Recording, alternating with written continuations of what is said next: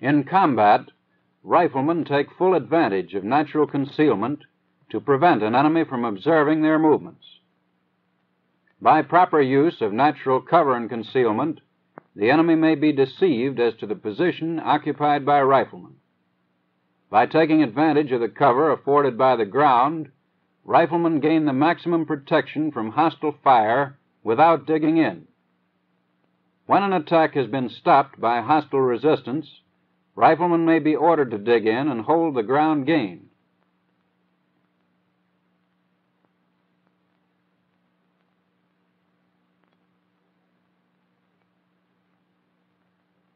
A rifleman sites his skirmisher's trench so that he can place effective fire on that part of the enemy line he is expected to cover.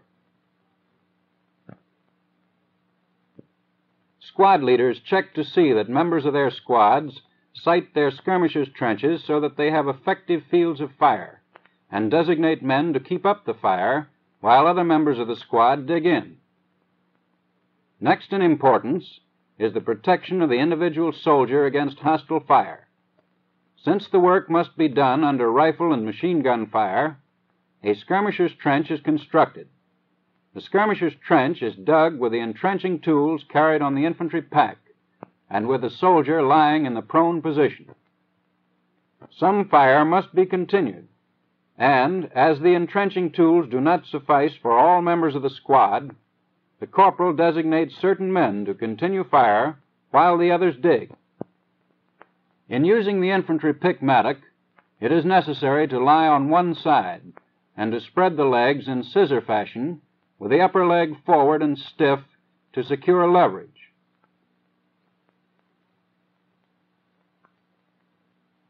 With the lower hand, grasp the pick handle at the point about halfway between its end and the head.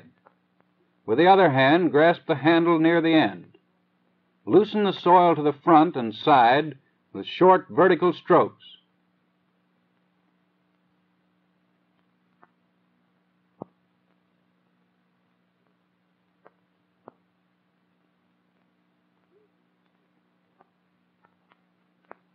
To use the infantry shovel, lie on one side and spread the legs apart in scissor fashion with the lower leg forward and stiff to secure a leverage. With the lower hand, grip the shovel handle near the blade, and with the other hand, grasp the handle from above at the T. Excavate by pushing the shovel forward and deposit the soil above the head or to the far side of the excavation.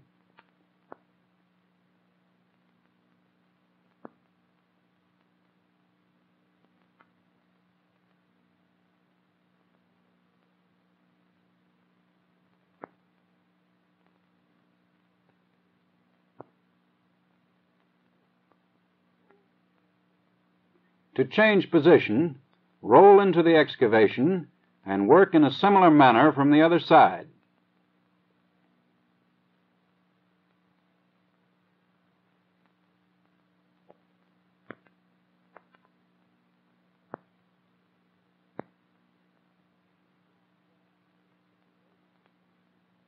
In soft ground, the soldier can mask himself from the front and secure fairly good protection from small arms fire in from 10 to 15 minutes.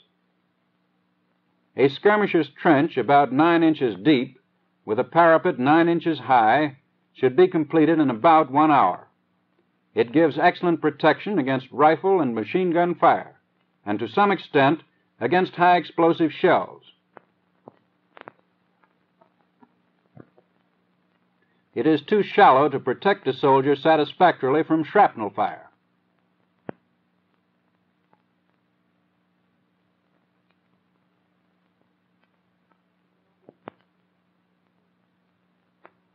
In the organization of a defensive position, several hours are usually available to riflemen in which to construct hasty field fortifications. Since they are not under rifle and machine gun fire, the work proceeds in a more deliberate manner. In a situation of this kind, the engineer regiment would deliver infantry tool trucks near the position. Initially, one tool truck per frontline infantry battalion is usually available.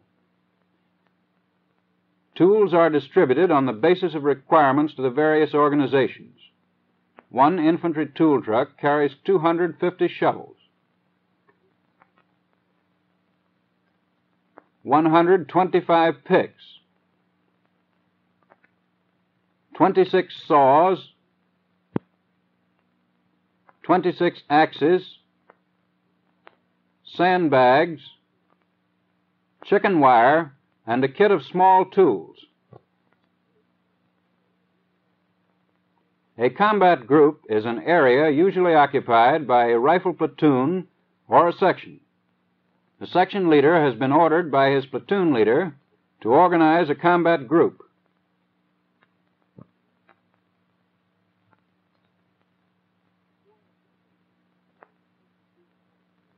Before the section can construct hasty field fortifications, consideration must first be given to the location of weapons so that foxholes are properly sited in order that riflemen can carry out their fire missions. This having been determined, full advantage is taken of all existing obstacles and of all natural cover afforded by the ground.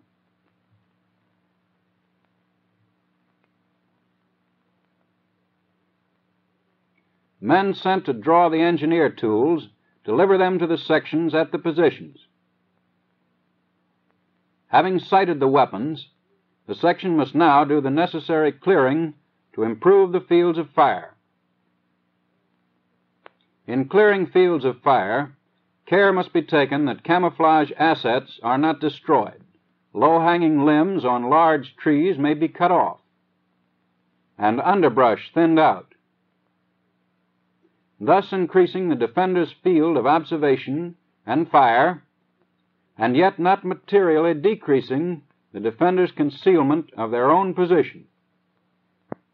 The fields of fire should be cleared to a depth of at least 100 yards. Anything like straight lines marking the limits of the clearing must be avoided because they disclose the position.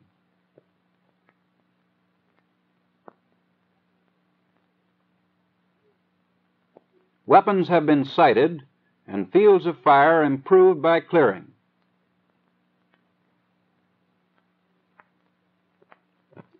Next, foxholes are constructed to protect weapons and personnel against hostile fire. In breaking the ground, sod or clumps of grass are laid aside to be used later in camouflaging foxholes.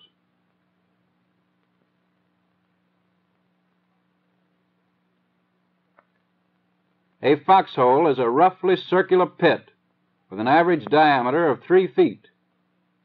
The sides of the pit may be sloped to prevent it caving in. The smallest type is the sitting foxhole. It is about one and one half feet deep, with a parapet nine inches high in front of it. Such a pit protects a man in the sitting position.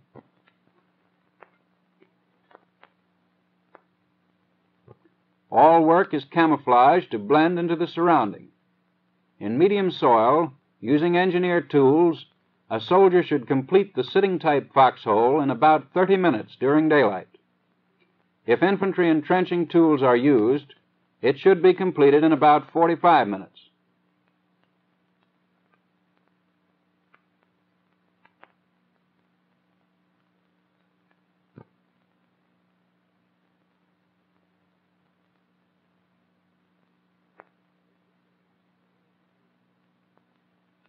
A deeper foxhole is the kneeling type. It is about two and one half feet deep, with a one foot parapet in front of it. It can be completed in medium soil during daylight by one man using engineer tools in about 45 minutes, or by one man using infantry entrenching tools in about one hour and ten minutes.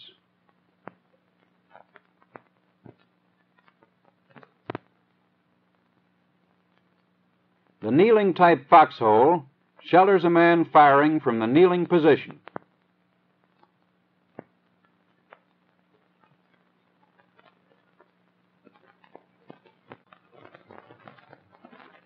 The largest foxhole is the standing type. It is about three feet deep and has a parapet 18 inches high.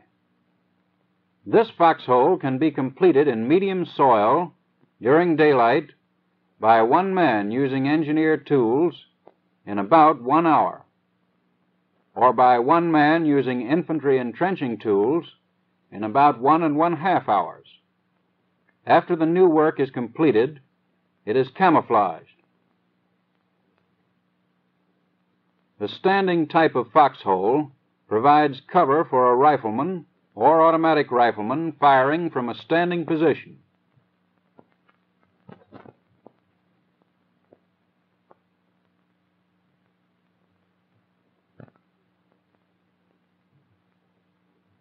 To provide for communications between foxholes, shallow connecting trenches are dug.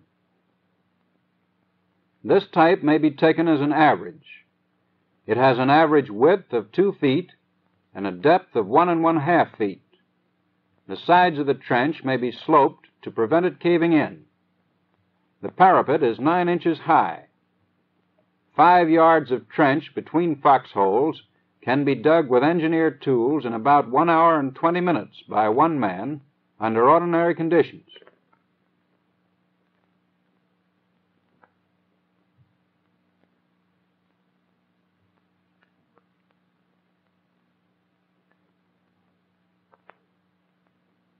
Looking at a part of the combat group, we find the men well protected from hostile fire by standing type foxholes.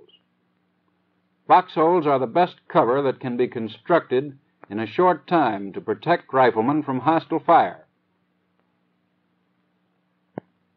Because of the small exposed area and the deep sides, the foxhole provides excellent protection against tanks. A small ditch is dug around the foxhole to drain off the water so that it will not flow into the hole.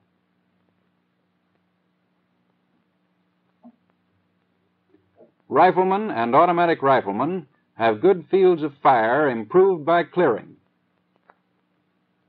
The shallow type connecting trench furnishes protection for a man crawling on his hands and knees.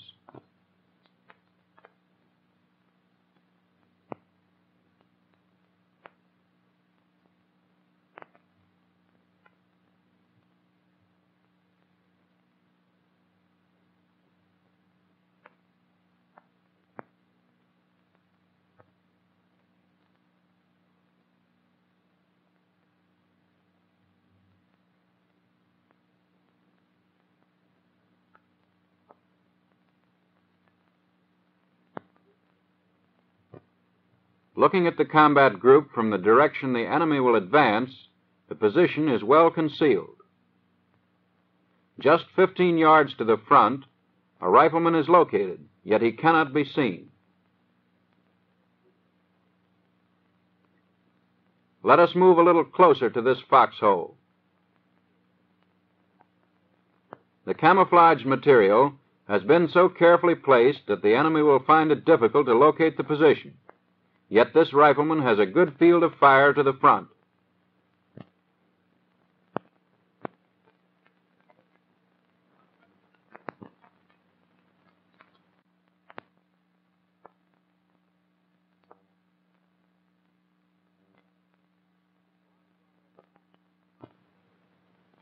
Barbed wire entanglements are very effective obstacles to the advance of an enemy.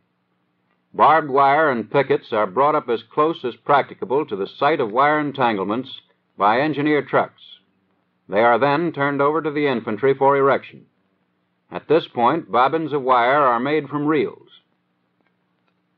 The wire and pickets are then carried to the wiring parties by carrying parties. A carrying party of 16 men is required to carry material for a 50 yard belt of double apron fence. They can keep the wiring party supplied from a distance of about 800 yards. For longer and shorter carries, the party can be increased or decreased in proportion to the distance.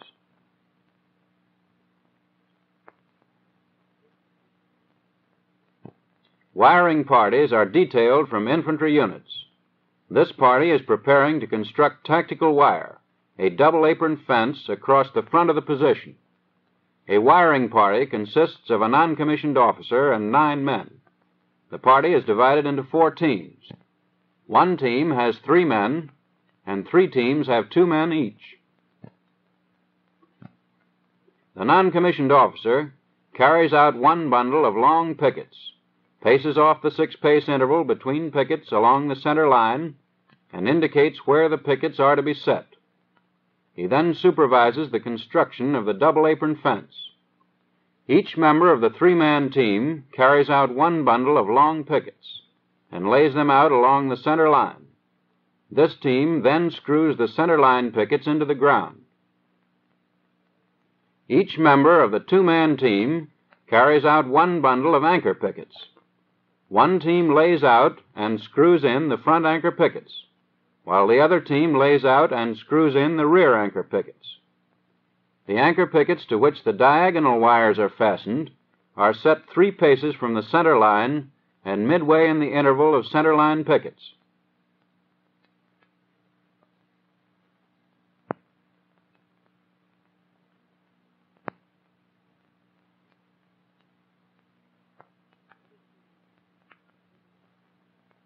The other two-man team distributes bobbins of barbed wire along the fence at points where they will be needed. As a team completes one task, it begins another task. The work is so proportioned that a team will complete a task just ahead of the team following them, so that they do not interfere with each other.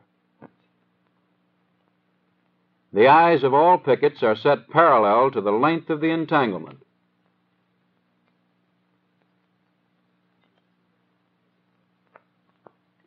After the center line pickets are set, the three-man team runs out the diagonal wire on the front apron.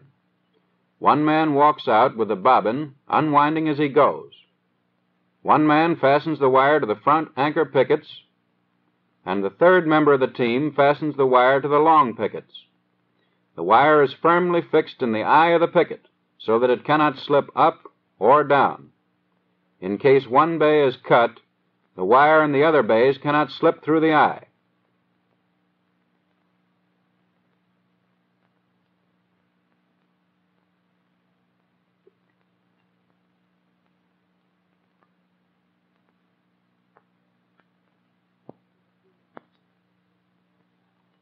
After the two-man team completes laying out and screwing in the front anchor pickets, it works on the trip wire of the front apron.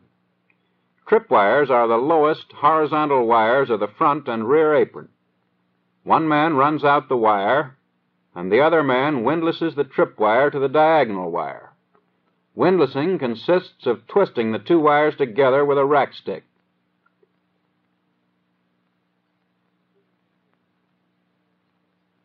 When the two-man team completes laying out and screwing in the rear anchor pickets, it runs out and windlasses the second horizontal wire to the diagonal wire of the front apron.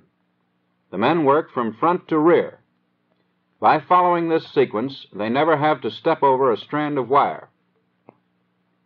The two-man team that distributed the bobbins of barbed wire runs out and windlasses the top horizontal wire to the diagonal wire of the front apron. The method of windlassing horizontal wires and diagonal wires where they cross prevents the wire from sagging in adjoining bays if the wire in one bay is cut. Barbed wire is strung loosely to increase the entanglement effect.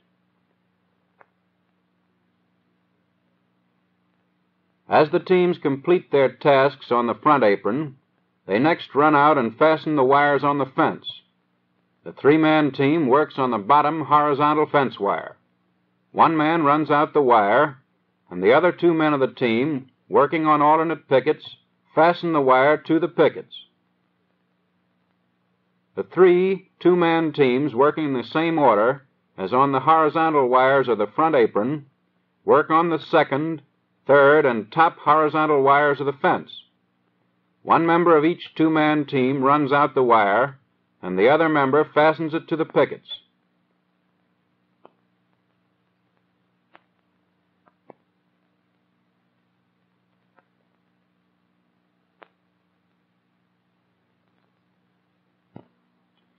One bobbin of wire is sufficient for approximately one half of one strand of wire for a 50-yard belt of fence.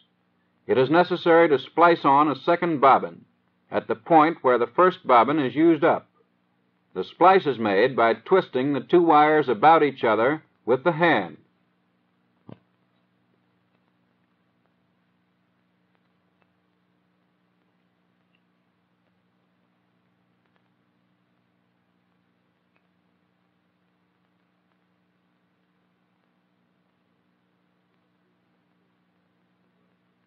After the three-man team completes the work on the bottom fence wire, they work on the diagonal wire of the rear apron. One man runs out the wire, one man fastens the wire to the long pickets, and the third member of the team fastens the wire to the anchor pickets.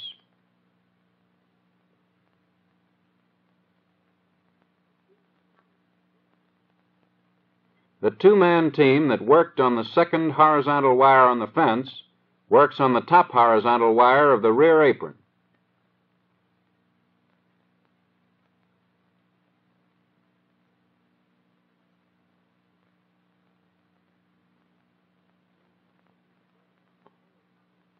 The two-man team that worked on the third horizontal wire on the fence works on the second horizontal wire of the rear apron.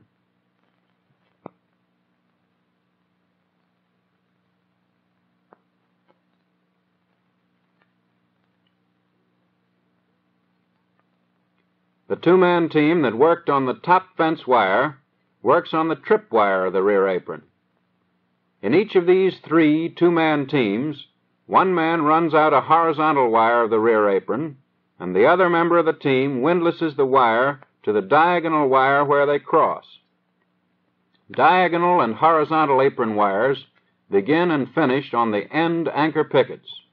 Horizontal wires on the fence begin and finish on the end centerline pickets. They are not carried down to the end anchor pickets. Wire should be strung loosely because taut wire is more readily cut by wire cutters and shell fire.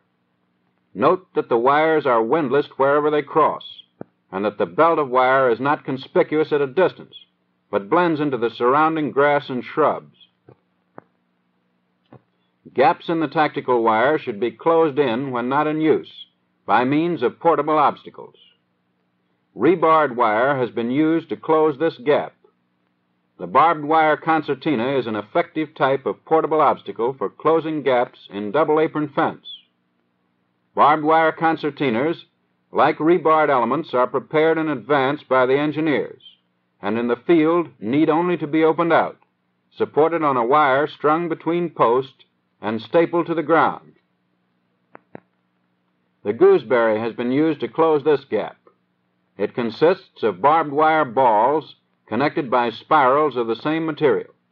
It is used principally to block trenches, but may be used to make emergency repairs to existing obstacles. Tactical wire obstacles placed in front of the position will delay assaulting enemy troops reaching the position and so cause congestion which holds them under effective rifle, automatic rifle, and machine gun fire for a longer time.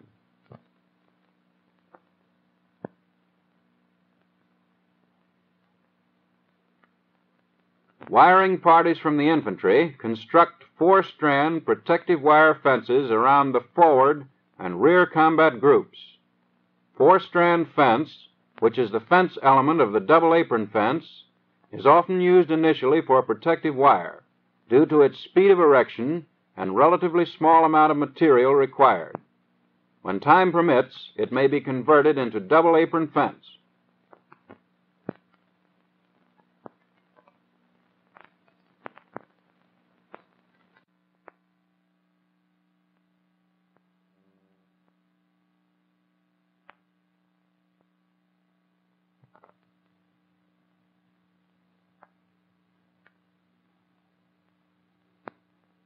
In combat, the members of the caliber 30 machine gun sections take full advantage of natural concealment to prevent an enemy from observing their movements. By making proper use of cover and concealment, the enemy may be deceived as to the location of the machine gun positions, and members of the section gain maximum protection without digging in.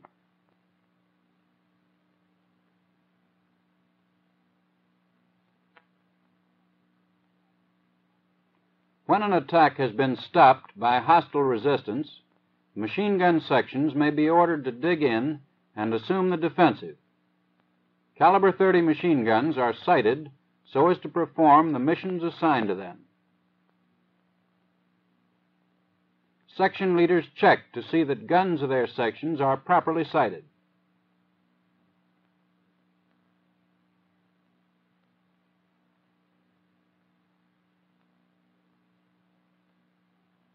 The next work is to protect weapons and members of the section from hostile fire.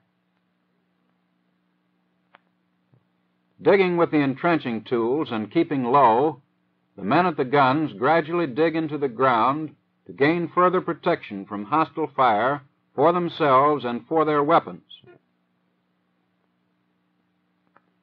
During the progress of this work, they may be called upon to fire on targets appearing in their sectors of fire.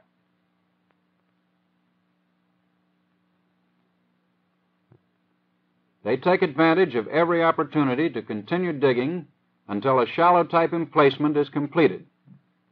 Members of the squad not needed at the gun position construct skirmishers' trenches. This work is done with the entrenching tools carried on the infantry pack and with men lying in the prone position. The open, shallow type emplacement for the caliber 30 machine gun is six feet wide and eight feet long. The sides of the excavation may be sloped to prevent caving in. The depth is about 18 inches. It will vary due to the slope of the ground. With two men working with individual entrenching tools under fire, this type emplacement can be finished during daylight in about three hours.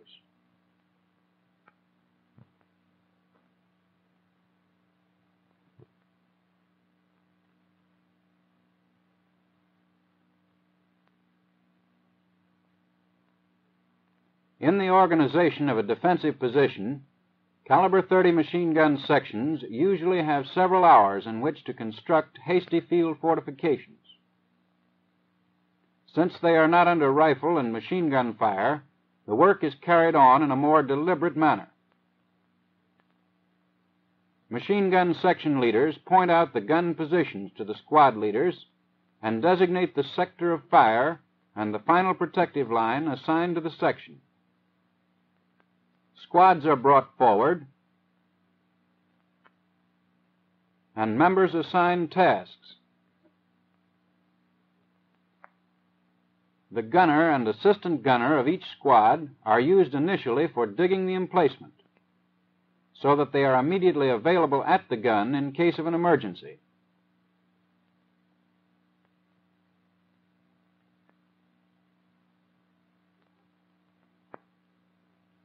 The open, standing type of emplacement is being constructed. Engineer tools normally would be used for this work. When clearing is necessary, two members of each squad are usually assigned to the task of clearing essential fields of fire for the section. The clearing is limited to cutting bushes and low limbs of trees. The trees themselves are left standing as they interfere with a field of fire less in this position than if cut down. The clearing must not disclose the position. Anything like straight lines marking the limits of the clearing must be avoided. The remaining members of the squad dig standing type foxholes in the vicinity of the emplacement. Only two men can work to advantage in the open standing type emplacement at one time.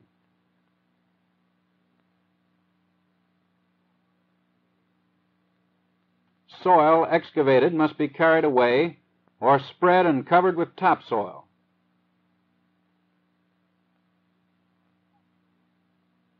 The standing type foxholes for the protection of members of the squad not needed at the gun have been completed. They are the same type as dug by riflemen. The open standing type emplacement for the caliber 30 machine gun is six feet wide and eight feet long. The sides of the excavation may be sloped to prevent caving in. the forward part of the emplacement, which is the gun platform, is 16 inches deep. The slope of the ground will cause this depth to vary somewhat. The rear portion of the emplacement is 4 feet 4 inches deep. Usually, the standing type emplacement is developed by deepening the rear portion of the shallow type emplacement. In loose soil, it is often necessary to revet the rear portion of the gun platform to keep it from caving in. Stakes and small branches cut when clearing the fields of fire may be used for this purpose. Open type emplacements permit all around fire and can easily be adapted from shell holes. A small trench is dug around the emplacement to drain off surface water. Water that falls in the emplacement must be bailed out. Over at the other squad of the section, the excavation of the soil has been completed, and the men are well along in their task of camouflaging. The sod and clumps of grass were carefully removed when the ground was broken and now find good use. The open, standing type emplacement requires little material and is easily concealed from aerial and ground observation. Two men digging in medium soil with engineer tools can complete the open standing type emplacement for caliber 30 machine guns in about four and one half hours.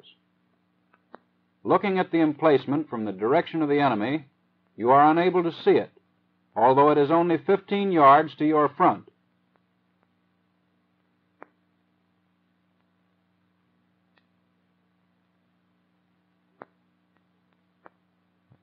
Moving up to the position, we find that the camouflage material has been so well selected and placed that it matches the nearby vegetation.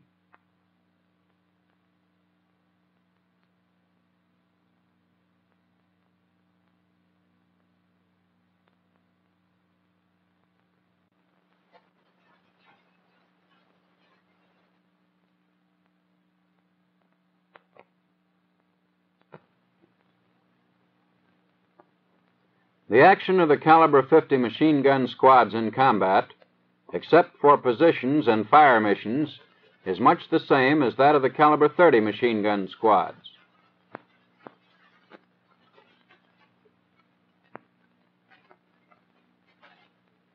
Caliber 50 machine guns are located and sited to fire in the direction of likely avenues of approach of enemy tanks.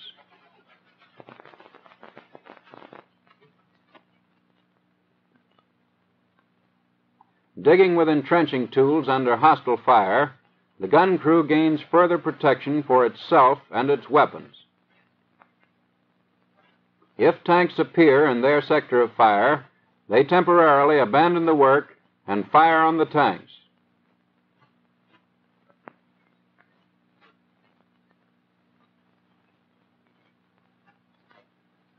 Members of the squad not needed at the gun construct skirmishers' trenches. Work is done with the entrenching tools carried on the infantry pack and with the men lying in the prone position.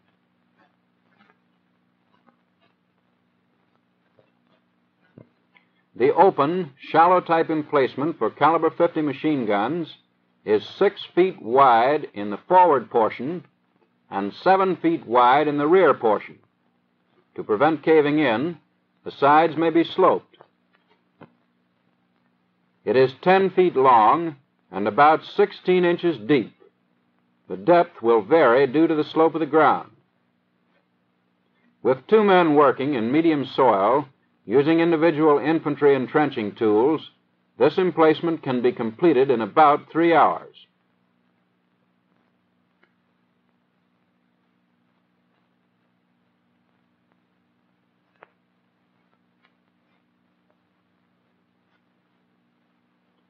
In defensive situations, where the enemy cannot reach the position for several hours, the work proceeds in a more deliberate manner. Engineer tools would normally be available for that work.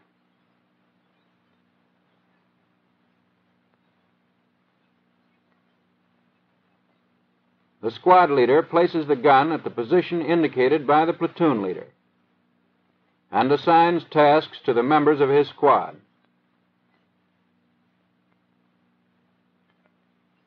The gunner and the assistant gunner are used initially for digging the emplacement so that they are instantly available at the gun in case of emergency.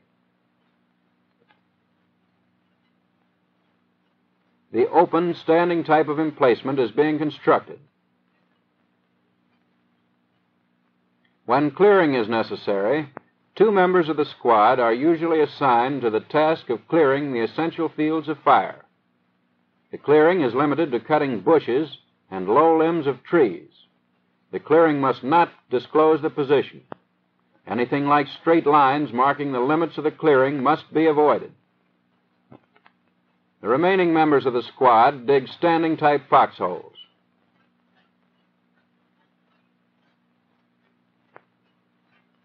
Only two men can work to advantage in the open standing type emplacement at one time. Soil excavated must be carried away or spread and covered with topsoil. The standing type foxholes for the men not needed at the gun have been completed. They protect the members of the squad when they are not needed at the gun and are the same type as those constructed by riflemen.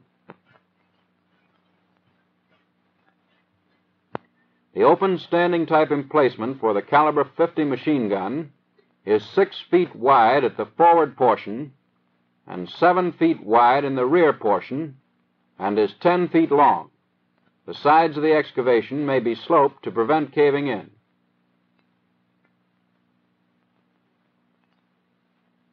The forward part of the emplacement, which is the gun platform, is 16 inches deep.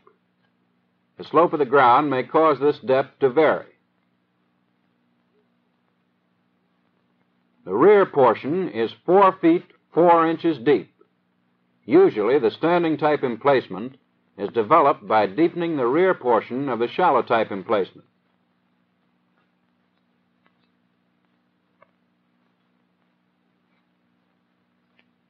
Open type emplacements permit all around fire and can easily be adapted from shell holes. A small trench is dug around the emplacement to draw off the surface water. Water in the emplacement must be bailed out.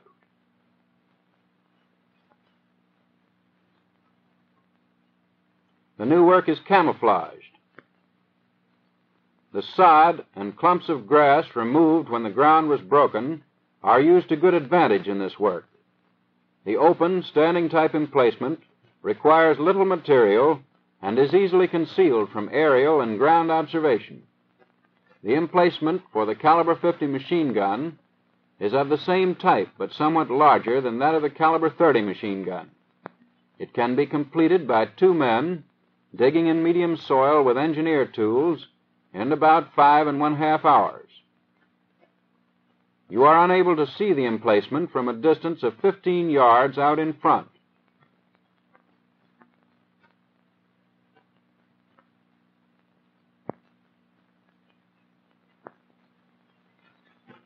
Moving up to the position, we find that the camouflage material has been skillfully arranged to match the surrounding vegetation.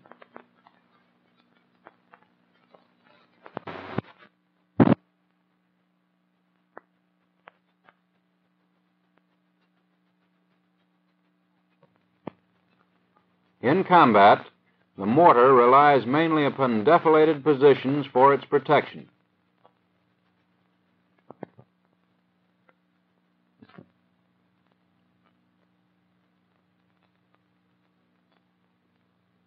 In siting the mortar, a stake is driven into the ground to designate the mortar position. Two aiming stakes are then driven in the ground to mark the direction of fire.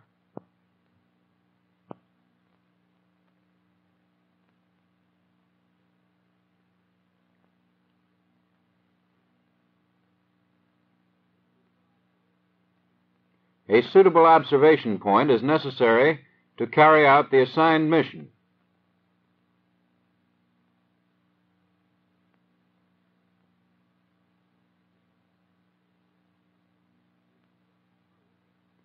The positions are improved as much as time will allow by digging in the base plate and by camouflage.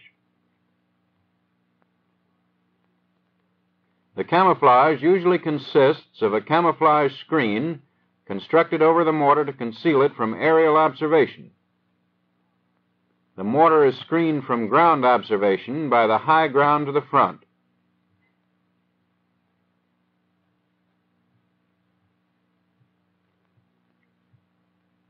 If the situation demands, members of the mortar squad not on duty at the mortar construct foxholes for further protection from hostile fire.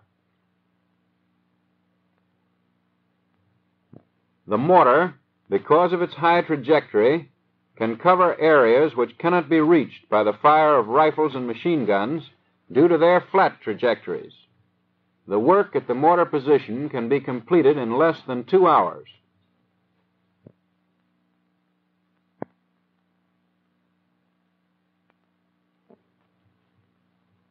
Platoon command posts are located within the combat group occupied by rifle platoon.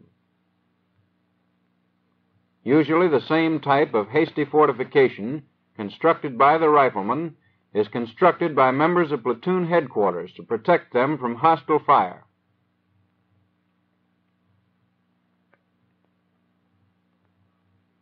Company command posts are located in the rear part of the company area. If a defiladed position is available which protects the personnel of the company headquarters from hostile fire, it is only necessary to conceal the command post from enemy observation.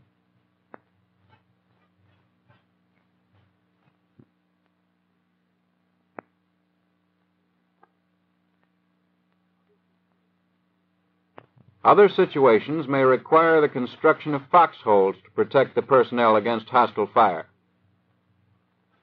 The new work is camouflaged to prevent the enemy from discovering the location of the command post.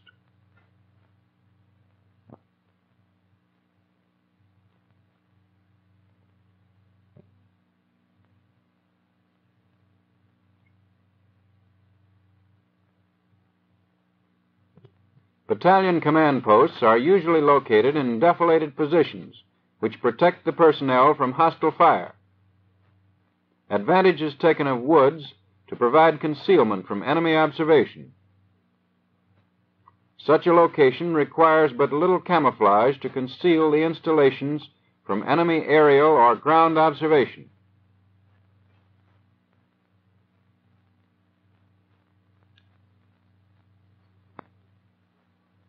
Other situations may require the construction of foxholes or larger pits to protect the personnel from hostile fire and observation.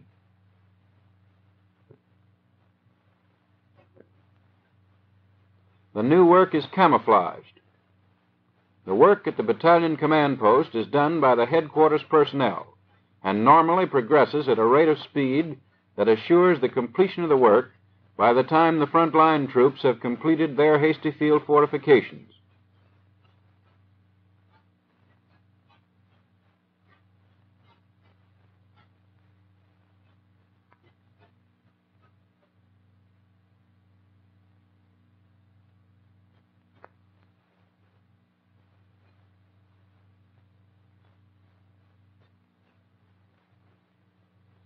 To prevent newly beaten trails from disclosing the location of the command post to enemy aerial observers, messengers entering or leaving the command post do not follow the same route.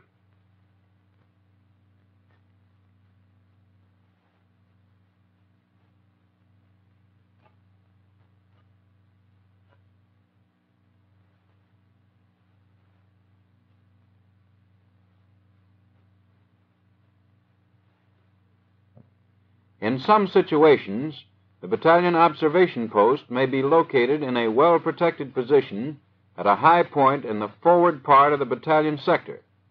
From this position, the personnel from battalion headquarters can see the battalion sector and observe enemy activity. Other situations may require considerable construction to protect the personnel at the battalion observation post. In such a case, a pit is usually constructed and camouflaged. Enemy information is transmitted to the battalion command post by telephone.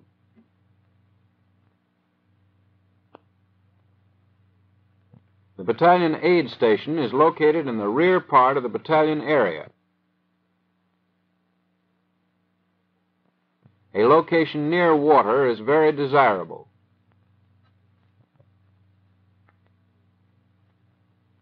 It is near covered and protected routes over which litter bearers can carry seriously wounded personnel.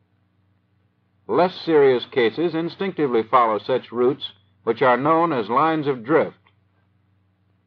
Shelters are constructed to protect the equipment and the wounded men who are brought to the aid station for treatment.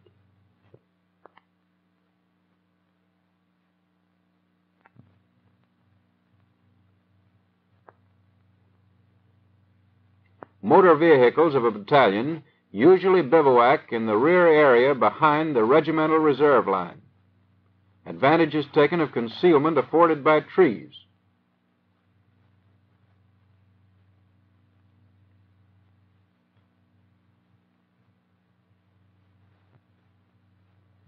This truck has been placed on the proper side of the tree to take advantage of the shadow cast by the tree. In placing saplings or boughs around the truck, they should be placed vertically, with the butt end down as they grow, and not horizontally.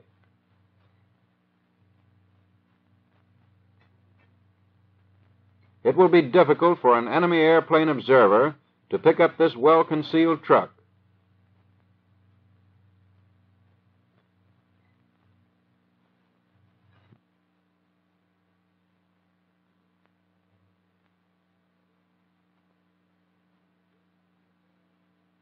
You have seen the various types of infantry hasty field fortifications in various stages of construction.